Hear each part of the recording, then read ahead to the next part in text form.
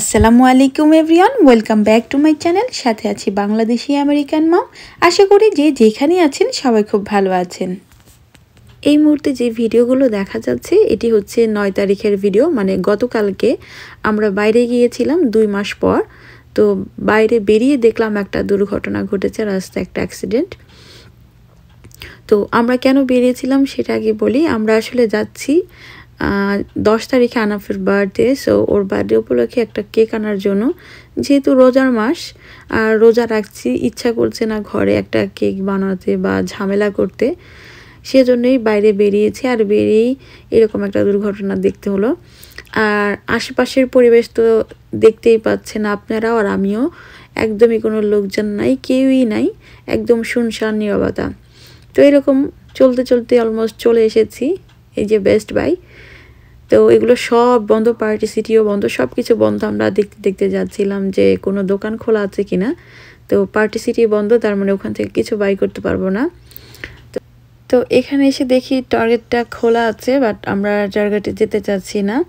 কারণ ওখানে সেফটি না। আর যেখানে যাই না কেন, আমরা যে কোনো একজন গাড়ি থেকে নামবো, আমরা সেটা আগেই ডিসিশন নিয়েছি। একজন গাড়িতে থাকবে, বেবিকে নিয়ে আরেকজন আমরা নেমে জাস্ট যা করার করে আসব। তো এখন যাচ্ছি জুনিয়র্সে কারণ আমরা ডিসাইড করেছি যে জুনিয়র্স থেকে কেকটা নিব, কারণ ওখানকার কেকই আমার পছন্দ। তো আমরা অলরেডি ডাউনটাউনের কাছাকাছি চলে এসেছি সিগনালে আছি। তো জুনিয়র্সের কাছে এসেই আবার সিগনালে পড়তে হলো, কিন্তু আমাদের বুঝতে বাকি রইল না যে জুনিয়র্স ক্লোজ আছে, কারণ ওদের কোনো ডোর ওপেন ছিল না। ওদের একটাই ডোর সামনে, কিন্তু বাইরের ইনভারমেন্ট দেখেই বোঝা যাচ্ছে যে ওদের এটা বন্ধ। তো আমরা আর কী করব? নিরাশ হয়ে এখন বাসায় ফিরে যাচ্ছি। এখন আবার নতুন করে সব কিছু প্ল্যান করতে হবে যে কীভাবে কাজ গোছাতে হবে। তো কি আর করা? বাসায় এসেই শুরু করে দিলাম কাজ মানে দিনের রান্না বান্না রেগুলার খাবার দাবার, তারপর ইফতারির আইটেম এরপরে মাথার মধ্যে ঘুরপাক খেতে লাগল যে কিছু একটা করে আমার আমার কলেজার টুকরার মনটা খুশি করতে হবে। কারণ ইদানিং আমার বেবিটা দেখে পরিবর্তন হচ্ছে। সে আধো আধো মুখে আধো আধো কথা বলে, বেবিকে বলে, বেই বেই। আমার শুনতে খুব ভালো লাগে। ওর মুখে একটু একটু কথা ফুটছে।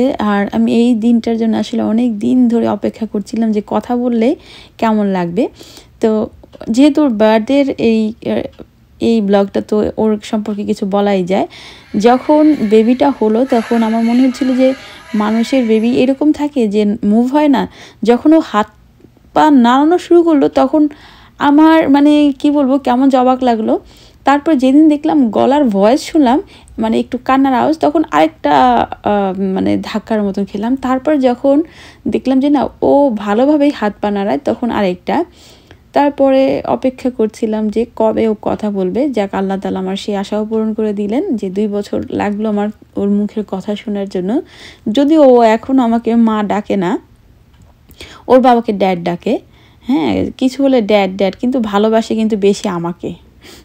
যাই হোক, বাসায় এসে রান্না বান্না শুরু করে দিয়েছি, কিন্তু সে রান্না শেষ করতে করতে আমার সারা রাত্রে লেগে গেল।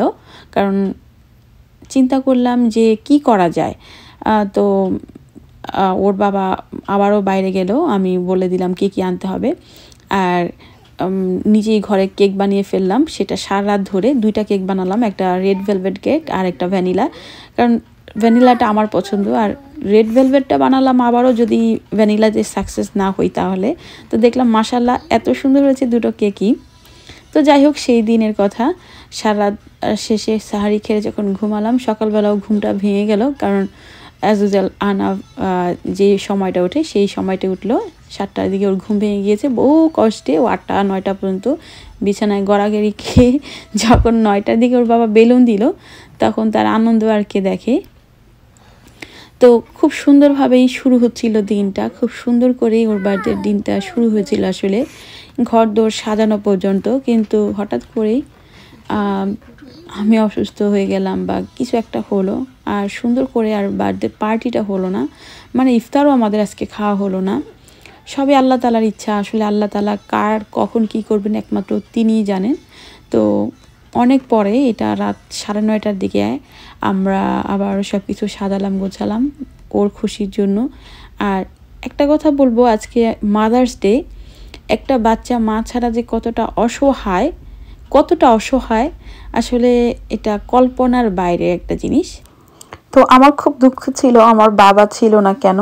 তো আজকের পর থেকে আমার আর কোনো দুঃখ নাই, কারণ এখন আমি বুঝতে পারছি যে আল্লাহ তালা আমার জন্য কত বড় একটা নিয়ামত রেখে দিয়েছিলেন, যে বাবা না থাকলে একটা মা কিন্তু একটা সন্তানকে, একটা সংসারকে কষ্ট হলেও চালিয়ে নিতে পারে। কিন্তু একটা মা না থাকলে একটা বাচ্চা কতটা অসহায় বা একটা বাবা কিন্তু পারে না মায়ের সেই সব কিছু পূরণ করতে? আমি আমার মাকে সবসময় প্রশ্ন করতাম যে, আম্মু, সবার বাবা আছে, আমার বাবাকে কেন আল্লাহ নিয়ে গেলেন? এবং আমার খুব পছন্দের মানুষদের কাছে সবসময় জানতে চাইতাম যে, আমার বাবা নাই কেন? তো আজকে আমার বেবির অসহায়ত্ব দেখে ওই অসুস্থতার সময় আমি সব অ্যান্সার পেয়ে গিয়েছি। আর সঙ্গে সঙ্গে আমার হাজব্যান্ডও বললেন যে উনিও স্বীকার করলেন যে আসলে মা ছাড়া একটা বাচ্চা কতটা অসহায়। উনি পরে কান্নাকাটি করছিলেন যে যে তুমি তাড়াতাড়ি সুস্থ হয়ে যাও না হয় আমি কি করব এই বেবিকে নিয়ে।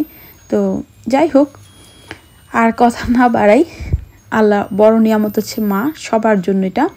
তো যাই হোক, আজকে প্রথমে হচ্ছে মা দিয়ে শুরু, কারণ মা ছাড়া সন্তানের জন্ম হতো না। আজকে mother's day happy mother's day সবাইকে, বিশেষ করে আমার আম্মুকে। তারপরে আমার কলেজার টুকরার পাখিটার birthday so happy birthday Anaf and আমারও আজকে বার্থডে যেহেতু আমি প্রথম মা হয়েছি, আজকে বাংলাদেশে আমেরিকান মামের বার্থডে তো সবাই আমাদের জন্য দোয়া করবেন। আজ এই পর্যন্তই, আপনারা সবাই ভালো থাকেন। পরবর্তী ভিডিও দেখার আমন্ত্রণ জানিয়ে আজকে আমি এখানেই ভিডিও নিচ্ছি। আল্লাহ হাফেজ।